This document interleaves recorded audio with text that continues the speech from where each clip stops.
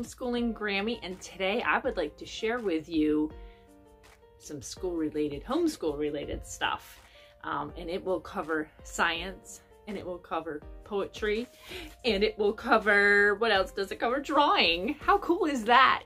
And it was gifted to my granddaughter. So if you're interested, stick around and we'll get started. Okay, so I've heard tons of really good things about um, this curriculum. I have never tried it.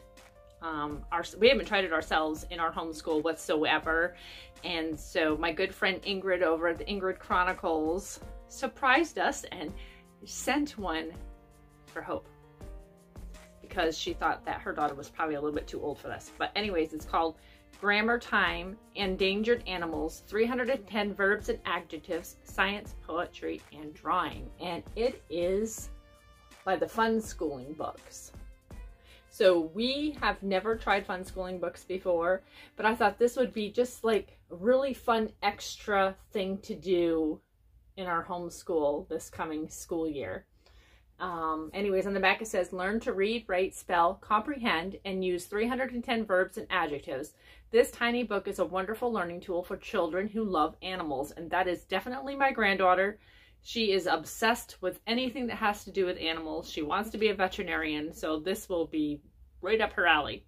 This adorable workbook is multi-subject curriculum and it covers science, drawing, and language arts, like I said before, and is done is put out by the Thinking Tree.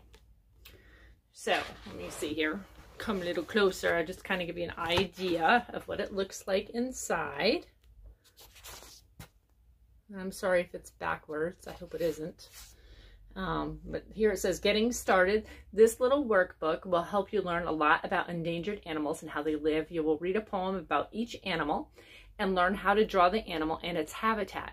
While you use this book, you will add many words to your vocabulary as you learn to spell and use 300 and different 310 different verbs and adjectives, which is pretty cool because we've been covering verbs and adjectives in our language arts program already. So hopefully this will make it more fun. So before we start, let's make sure that you know some of the main parts of speech. Look online or in a dictionary to make sure you understand these terms. So it says noun, verb, adjective, pronoun. You see some cute little drawings over here. But I just thought, how fun is this? So it'll, I'll give you an idea, like I'll just do some of it. Um, from A to Z, we will learn all about 26 endangered animals, and there's an animal for each letter of the alphabet. And what is your favorite endangered animal? And here, you know, their name, the name of the animal, my, oh, her name, favorite animals, address, phone number, age, date, whatever that you want. You can put all in there. It also gives a list of all of the vocabulary and spelling words. So that's really cool. So all the verbs, all the adjectives. And this is here, use this page to write and draw your favorite verbs. Use this page to write and draw your favorite adjectives. And then the first animal it starts out with is the Arctic fox. On Iceland's tundra in the snow, a white furry fox crouches low. He sniffs and listens for his prey. I wonder what does this fox say? Unable to find a lemming or vole, he scurries inside his snow-covered hole. Hungry but safe from his foe, polar bear curled up with his tail, he is warm in his lair my favorite verb, my favorite adjective. But I just wanted to give you a quick look at this book and how cute it is. I mean, and it is sizable. There are, I don't know how many pages. Pages aren't numbered.